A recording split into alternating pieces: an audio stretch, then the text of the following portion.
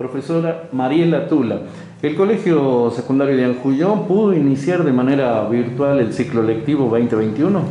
Sí, eh, normalmente eh, em, iniciamos las actividades el día eh, de ayer, 22, en forma virtual. El tema es que nosotros, ante la dificultad de la falta de presencialidad, este, fue emanada desde el Ministerio de Educación. El día viernes tuvimos reunión con el personal en forma virtual también y nuestro señor supervisor Pastor Nieto, licenciado Pastor Nieto, comunicó de que eh, se va a regir en forma virtual las clases, ¿sí? Bien. De manera virtual y no semipresencial como venía estipulándose. Todavía no, estamos a la espera de alguna nueva normativa o nueva disposición de parte del Ministerio. Bien, profe, con relación al sistema virtual, bueno, generalmente o el año pasado supimos que eh, genera muchos inconvenientes, ¿no? Eh, en el caso del colegio, por ejemplo, los alumnos se pueden conectar, se conectan con las clases, porque también debe entenderse que se dictan clases. Sí, las clases se dictaron en forma eh, normal, tanto el año pasado 2020 y continuamos en la tercera etapa del, año 2020, porque todavía el ciclo lectivo 2021 no inició. En esta tercera etapa se le solicita más aún a los padres y tutores eh, que apoyen a sus hijos. El acompañamiento y apoyo de ellos es fundamental para que nosotros podamos eh, lograr los objetivos que uno se propone. El año pasado uno de los problemas más, eh, digamos, que nos afectó a nosotros en la parte educativa fue la falta de conectividad. Y no era justamente por falta de medios. Muchos de los alumnos que medios, mm, no tenían los medios suficientes buscaron la forma de conectarse, pero en su mayoría este, no se conectaban teniendo los dispositivos. El año pasado también se entregaron las eh, tablets, pero ni aún así no se conectaron. Bien. ¿Y, los alumnos le manifestaron cuáles pueden ser los inconvenientes por lo que no se conectan o hay directamente un abandono o una falta de participación al ciclo? En la primera etapa realmente hubo conectividad. Posteriormente de un informe que se dio a nivel nacional de que los alumnos no repetían, eh, fue desde ese momento en que se relajó totalmente el estudio, o sea, todos los estudiantes. Eh, dejaron de conectarse, hubo docentes que gastaron muchísimo dinero haciendo este, encuadernados con módulos para que realicen las actividades en color, todo, y algunos alumnos ni siquiera este, devolvieron sus actividades. Eh, desde la institución también se realizaron encuadernados para algunos chicos que no tenían conectividad, pero no hubo respuesta por parte de ellos. Lo que en esta oportunidad quiero aclarar y pedir, llamar a, la, a los padres, ¿no? Para que los motiven a los chicos, para que en esta etapa tienen tiempo de recuperar. Eh, en, en estos días los docentes van a estar con la revinculación de los alumnos para sacarle dudas, para realizar los trabajos prácticos, los que no entregaron para que los entreguen y así terminar, digamos, en esta tercera etapa. Eh, la verdad es que es fundamental que los chicos se conecten.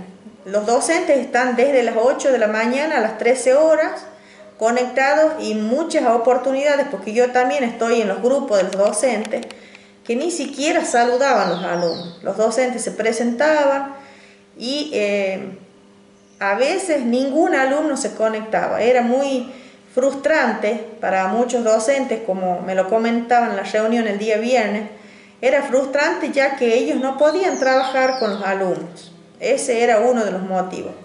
Por eso solicitamos y reitero y recalco que el acompañamiento de los padres y tutores es fundamental para, para que los chicos salgan adelante y puedan eh, pasar de curso, ¿no?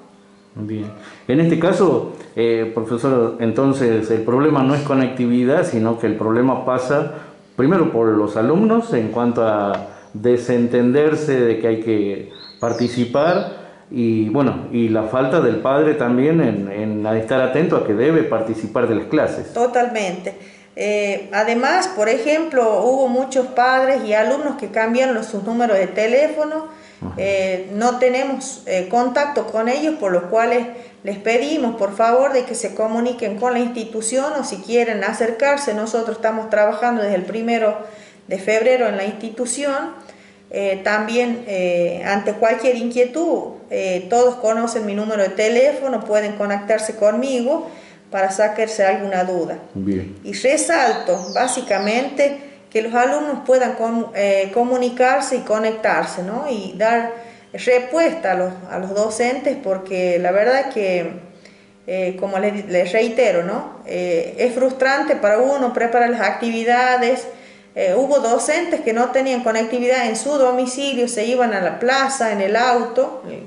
Este, en pleno invierno para, poder dictar las actividades y los alumnos ni siquiera se conectaban. Entonces, creo que esto es un esfuerzo conjunto, tanto de, los docentes como de los alumnos y padres, ¿no? Siempre hablamos de un triángulo perfecto para la educación, que son los padres, los alumnos y la institución, en este caso los docentes, ¿no? Eh, por eso eh, es la única manera de que funcione la educación, es que se conecten. Bien. Quiero volver con un párrafo muy importante que tiene que ver con que los, lo que usted manifiesta, los alumnos escuchan, sienten, ven la información eh, que no pueden repetir y eh, se relajan, no participan, abandonan prácticamente, diríamos, el ciclo lectivo. La normativa que establece en torno a este tema, porque, a ver, no repiten, lo que no significa que avancen también. Hay una normativa que dice que solamente con cinco materias pasarían de curso. Sabemos que estamos en el día a día, hay disposiciones nuevas que pueden llegar, esto puede modificarse, pero hasta el momento una de las normativas estipula que los alumnos solamente pasan con cinco materias. El tema es que hay muchísimos chicos que dejaron de participar en sus actividades o se conectaron pero nunca realizaron sus trabajos prácticos ni sus actividades, entonces en esta etapa es fundamental que ellos puedan conectarse con, los docentes para poder salvar estas situaciones, realizar los trabajos, presentar sus actividades y poder así nosotros desde la institución ayudarlos para que ellos puedan este, pasar de curso. Creo que nada está perdido, solamente depende del esfuerzo de cada uno de los chicos, eh, de ponerse en contacto con otros alumnos o con sus docentes en especial, que ellos van a enviarle las actividades si les falta. Este, y creo que si ellos se conectan, los docentes siempre tienen la predisposición para apoyar y puedan salir adelante. Bien, en este caso los que están fallando son los alumnos. Los docentes han hecho todo lo posible para, han utilizado todos los recursos para poder estar presente y dar clases. Sí, totalmente. Bien. Eh, ¿Cómo arranca este año 2021? Ya con el inconveniente de que va a ser virtual, lo manifestamos.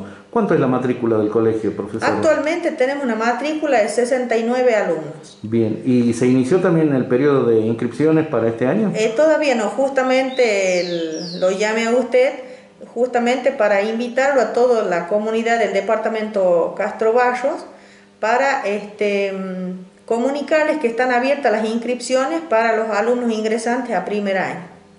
Bien. Eh, ¿Cómo deben hacer para poderse inscribir? Pueden realizarlo en forma virtual o en forma presencial en nuestra institución, ya que nosotros estamos acá.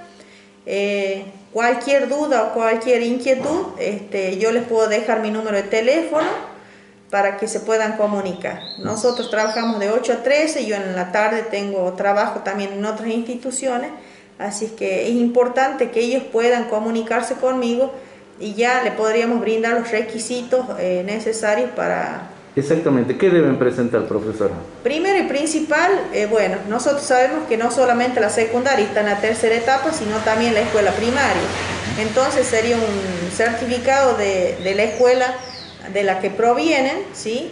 Y eh, ya en el momento que se inicia el, el día 8, que inician las actividades del ciclo 2021, ciclo lectivo 2021, en esa, en esa oportunidad recién vamos a saber si los alumnos adeudan algunas materias o no. En ese caso, nosotros vamos a trabajar con los alumnos ingresantes a primer año con un proyecto de articulación entre la escuela primaria de la cual provienen y nuestra institución.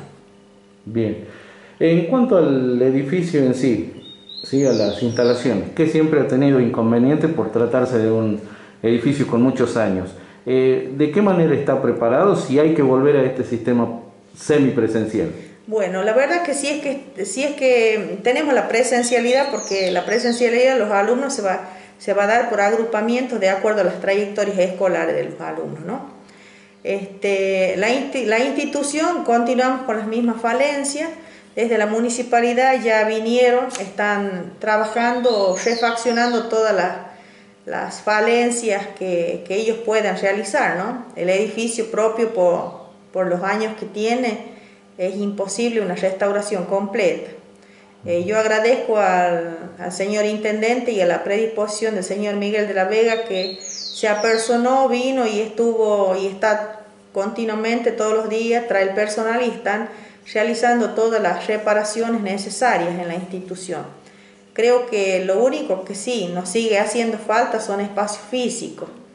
Nosotros hemos reacondicionado ahora los espacios también porque tenemos que tener en cuenta que no pueden ser grupos eh, grandes. Las burbujas que se van a realizar en los cursos tienen un máximo de 15 alumnos. Hay espacios, hay cursos muy pequeños en el caso en el cual funcionaba antes quinto año, es un espacio muy reducido, los otros todavía se pueden acondicionar, pero este, seguimos esperando y bueno, estamos haciendo contacto también para que pronto podamos tener una audiencia con el gobernador para continuar la gestión de la construcción de nuestro colegio, ya que contamos con el predio, hubo dos licitaciones y bueno, hubo una rescisión de, de las empresas por, por el desfasaje económico, por ello es que no se, realizaron no se realizó la construcción. La gran pregunta de muchos, ¿no? Es si alguna vez podremos ver el colegio.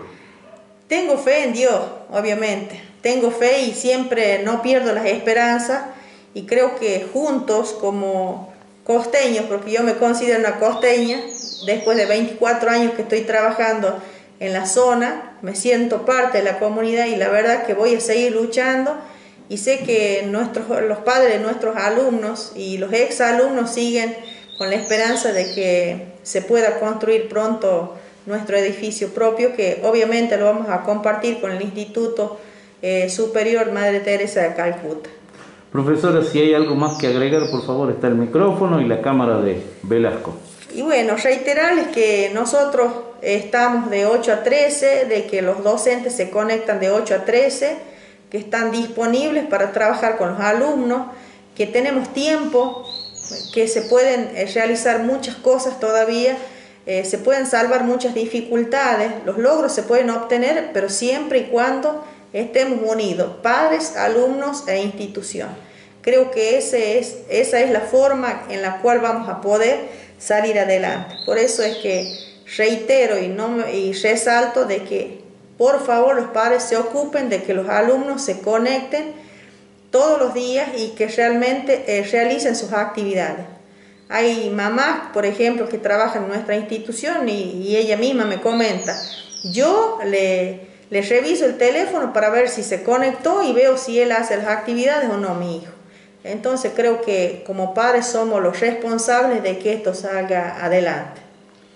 Bien, gracias profesora. Muchísimas gracias a usted por permitirme comunicarme con la comunidad, así que le deseo buenos días y bueno, esperemos que este nuevo año sea de bendición, de paz y bueno, que la salud en especial sea este, el, el objetivo principal para todos. Muchísimas gracias.